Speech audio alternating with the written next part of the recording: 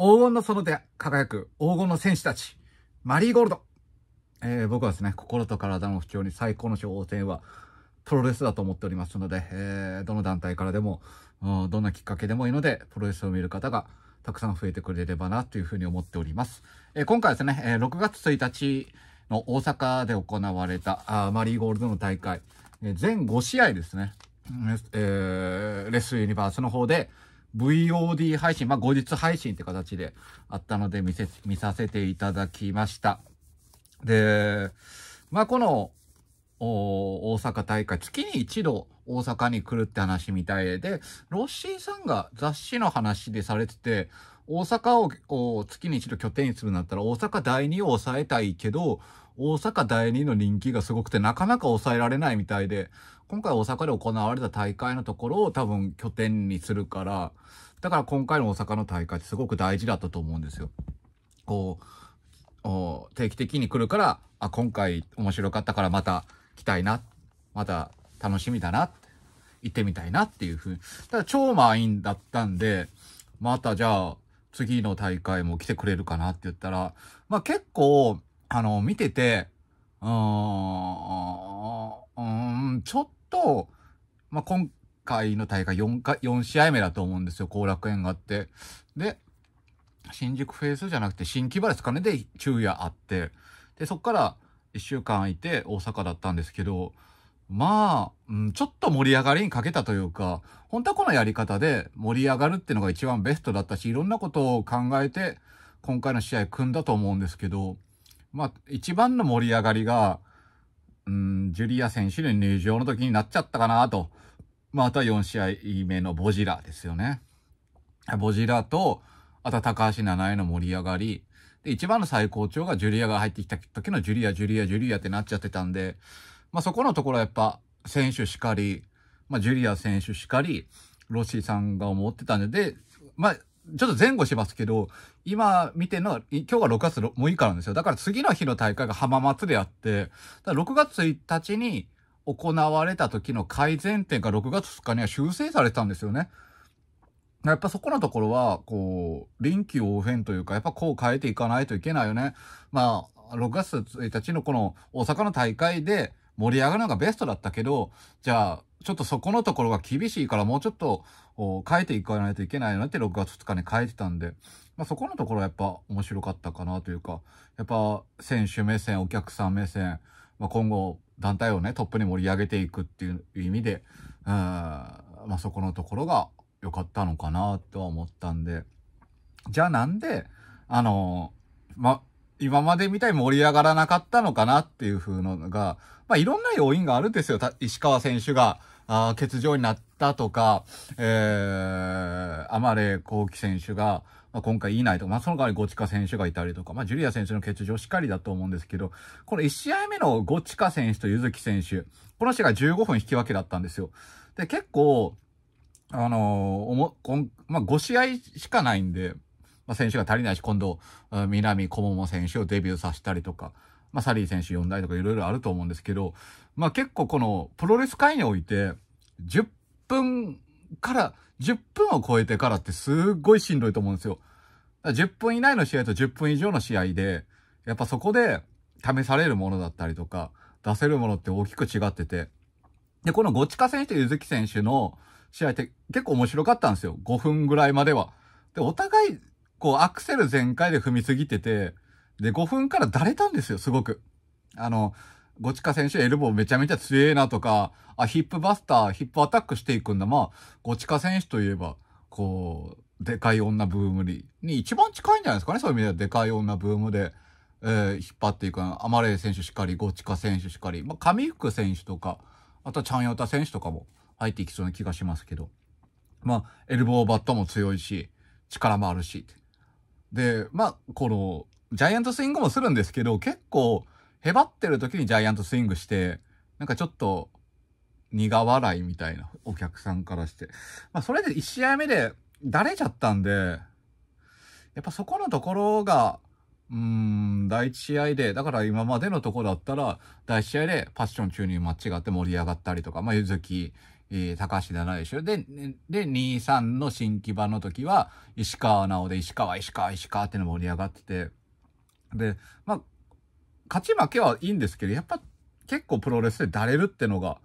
うーん、あったんでね。やっぱそこのところは多分、ゴチカ選手しかり、ゆずき選手しかり、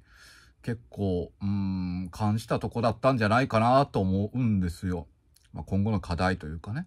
で、僕は結構この、ゴチカ選手の力がどれくらい高いのかなって分かんなかったんですよ。デビュー戦の時に、アマレイコウキ選手と組んで、えー、あ、ゴチカ選手、まあ、ジャイアントスイングしたりとか、力あるなーだったんですけど、デビュー、その、後楽園の時は、ほぼ、アマレイ選手が出て、アマレイ選手が勝ったっていうのがあったんですけど、で、えーにえー、2試合目、3試合目の新木場では欠場で、で、今回出て、あ、結構力が強く、だから、ゆずき選手の方が僕は強いと思ったんですよ。その身体能力とか、このいろんなトレーニング風景とかいろいろ見てたら。だけど引き分けで、なんかネットのこの意見みたいなの聞いてたら、ゆずき頑張ったなみたいな。こっちかと引き分けなら上等でしょうと思ってて。うーん。僕的には、ゆずきが圧倒してゴチカに勝つかなと思ったんですけど、まあ引き分けだったら、ゴチカがやったなと思ってゆずきは悔しがんないといけないよねっていうとこなのかなって勝手に思ってたんですけど。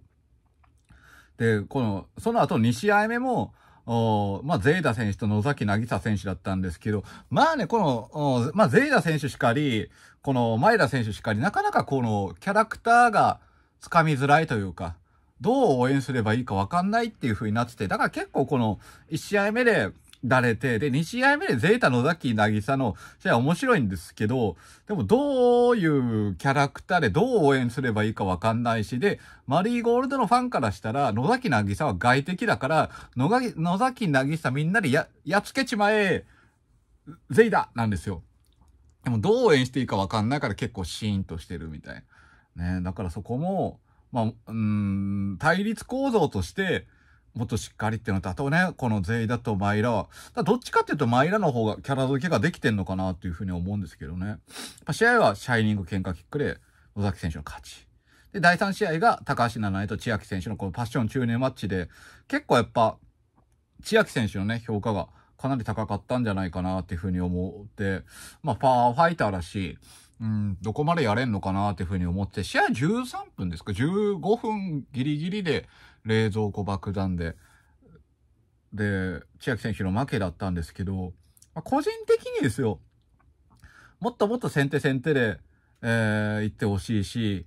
ちょっと、この、つかす感じですかね。パワーファイターだから、真っ向で受けてほしいんですけど、エルボーちょっとかわして、したりとか、まあ、スピアとかいろんな、いろんな技をしたいと思うんですよ、千秋選手って。僕的には、僕的にですよ、このパッション注入マッチに関していろんな技を見せるのは、はそれはそれで、今の自分を全てぶつけるでいいんですけど、なんか僕の中では、もうエルボー、ボディスラム、で、ドロップキックですかね。まあとは逆水平とかチョップでもいいんですけど、まあ、そこのところを軸に基本的な技だけを軸に、あとレスリングですよ。アームホイップしかり、えー、首投げしかりですよ。で、レスリング技術、ロープワーク、ショリーダータックルとか、そういうところをベースで、こう、高橋七にぶつかってほしいなっていうふうに思ってたのが、うん、なんかこう、器用に器用に見せようとしてるのが、ちょっと僕的に、うーんっていうところがあったんで、まあ今後高橋七重とのパッション注入マッチで、まあそれぞれやっていくと思うんですよ。で、ゆずきがしましたよね。で、千秋選手がしましたよね。で、今度、松井梨沙選手がして、で、橋田歌美がして、だから、で、先延ばしになってる石川直人のパッション注入マッチはどうなるかわかんないんですけど、まあそこは野崎渚があるからですよ、塩月夏美して、えー、青のミックして、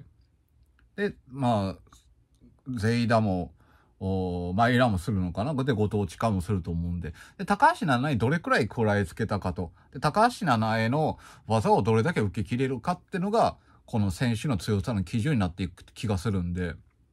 なんかそういう意味では、全然負けていいけど基本的な技で対応して、で、千秋選手はパワーファイターですだと思う。160、60キロって結構、お大柄だと僕は思ってるんで。だからそこのところをウェイトが低くてスピードで勝負する選手ならわかるんですけど、まあ、個人的には、うん、こう、先手先手で、ガンガンガンガン行ってほしかったなとは、うん、すかさずにね、かばさずに、受けて受けて、倒れて立って立って、みたいな。なんかそういうのが見たかったが、まあいろんなコンディションがあると思うんですけどね。で、第4試合がマイラとボジラ選手と桜井舞選手と、えー、塩月夏美選手ですね。まあね、ボジラすごいですよ。この1試合目、2試合、まあ1試2試合目はそうでもなかった。1試合目と3試合目で、やっぱ選手のスタミナって大事なんだな、みたいな。まあ、スタミナがあって、その回復力とかがあると思うんですよ。もともと選手のスタミナって決まってて、まあ、それを10分、15分で、まあ、どれくらいうまく使うかとか、あとはこう、うまくどうやって回復して体力を高めて、えー、攻める時と守る時の、時のメリハリをつけるとか、そういうのがあるんですけど、まあ、ボジラはただ力が強いとか、その表情が豊かとか、まあ、ヒールっぽくなってて、大暴走してるんですけど、疲れないですもんね。だれないんですよ。それがそこで、まあ、力強いし、迫力あるし、飛べるし、で、こう、疲れ知らずみたいな。かーいみたいな。気合入ってるんで。やっぱだから、こう、結局スタミナが切れるってヘロヘロになってるの、レスラーってのは、やっぱ結構その時点でしんどいんで、あとはまあ大舞台慣れていくってことだと思うんですよね。あだから結構積極的にレスラーをメインイベントだったりとかセミファイナルでして、ま、まだ選手が少ないから、あ基本タッグマッチだったりとかシングルとかになっていくと思うんですけど、もっともっといろんな選手を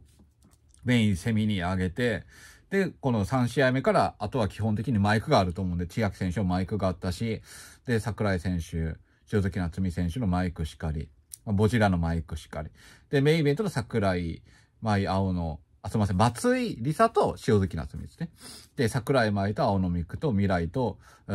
林田歌美。まあ、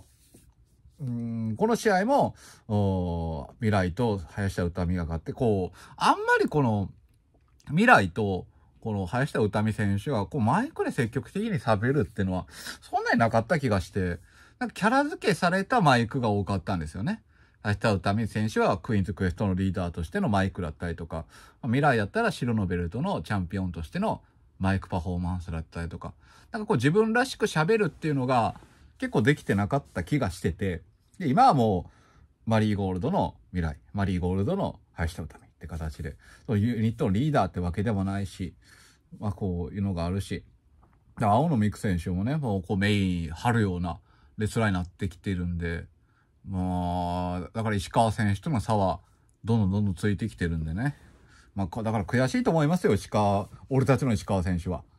こう、自分が勝ってれば、勝って怪我せついてたら、石、この、桜井対石川と未来対林田のためのメインイベントになったかもしれないですからね。あだからもうほんと悔しがってると思うんで、まあ、そんな中、悔しい思いしてる中で、やっぱこのスタミナがなくて、途中で、え、お客さんもどうすればいいかわかんないみたいな感じたら多分悔しいなっていうふうに思ってたんで、まあ試合としては、こう、面白い試合なんですけど、なんかこう伝わりづらいみたいな、もっとできるよね、みたいな。もっと盛り上がれるよね。だから今回の形を、で、またお客さんもう一回見に行きたいかって言ったら、結構絶対また見に行くぜっていうようなのを全員が全員思えたかって言ったらちょっと疑問だと思うんですよ。まあ、次はアマレー選手だったりとか、うん、まあ、石川選手からジュリア選手は次は厳しいですかね、7月は。どうかわかんないですけど。うん、だからそこの課題点を、うん、次の日に修正して、まあ、その修正したのをまた同じ大阪でやったら、やっぱ大きく変わってるんだろうなっていうふうに思うんで、まあ、お客さん的にもやっぱちょっとこういうのこうした方がいいなっていうのは、やっぱ上に話したりとか、まあいろんな伝え方ってあると思うんで、誹謗中傷は良くないですけど、やっ